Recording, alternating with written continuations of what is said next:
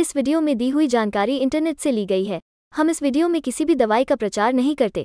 किसी भी दवाई को इस्तेमाल करने से पहले एक बार डॉक्टर से ज़रूर सलाह लें। अगर आप इस वीडियो को देखकर किसी दवा का उपयोग करते हैं और आपको कोई साइड इफ़ेक्ट होता है तो उसमें हमारी कोई ज़िम्मेदारी नहीं होगी। बागासो कैप्सूल एक दवा है जिसका उपयोग मधुमेह, दाद, यानी कि दाद दाद संक्रमण, रीढ़ की हड्डी की चोट आदि जैसी विभिन्न स्थितियों के कारण तंत्रिका क्षति यानी कि न्यूरोपैथिक दर्द के कारण होने वाले दर्द से राहत देने के लिए किया जाता है।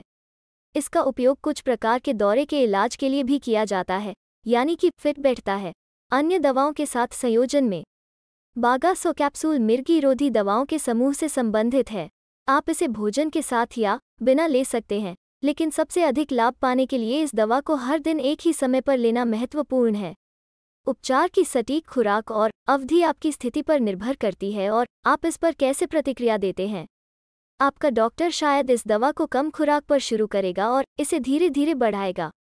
दवा को ठीक से काम करने में कुछ सप्ताह लग सकते हैं।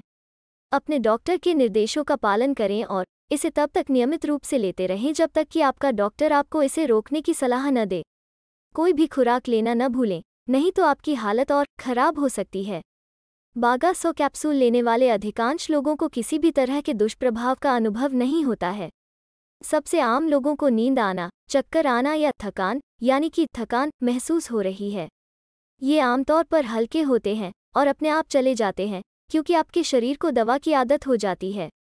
अधिकांश दुष्प्रभाव गंभीर नहीं होते हैं और उन्हें चिकित्सकीय ध्यान देने की आवश्यकता नहीं होती है। अपने चिकित्सक से बात करें, यदि कोई भी दुष्प्रभाव बना रहता है या आपको चिंता होती है, आपको इस दवा के साथ शराब पीने से बचना चाहिए क्योंकि इससे अत्यधिक नींद और चक्कर आ सकते हैं।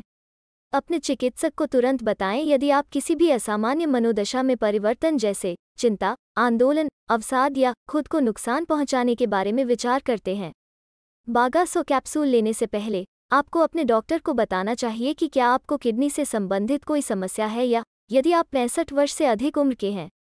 ऐसे लोगों के लिए आपका डॉक्टर दूसरी खुराक लिख सकता है, जो महिलाएँ गर्भवती हैं, स्तनपान करा रही हैं, या गर्भवती होने की योजना बना रही हैं, उन्हें भी इस दवा का उपयोग करने से पहले अपने डॉक्टर से सलाह लेनी चाहिए। वीडियो को पूरा देखने के लिए धन्यवाद। अगर आपको वीडियो अच्छी लगी हो तो वीडियो को लाइक करें, और साथ ही हमारे चैनल को सब्सक्राइब करके नोटिफिकेशन बेल आइकॉन पर क्लिक करें। और ऑल नोटिफिकेशन को क्लिक करें। धन्यवाद।